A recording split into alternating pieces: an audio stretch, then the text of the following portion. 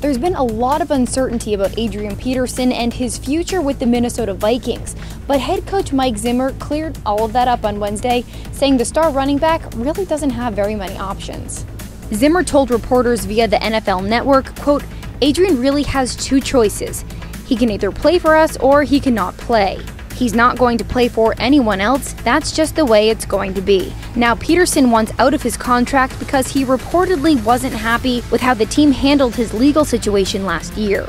Peterson was indicted in a child abuse case after his then four year old son suffered injuries after being punished by Peterson with a switch.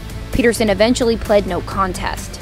At this point, the only leverage Peterson has, if you can call it leverage at all, is to not play, which would mean walking away from the more than $40 million remaining on his contract and further hurting his chances at entering the Pro Football Hall of Fame.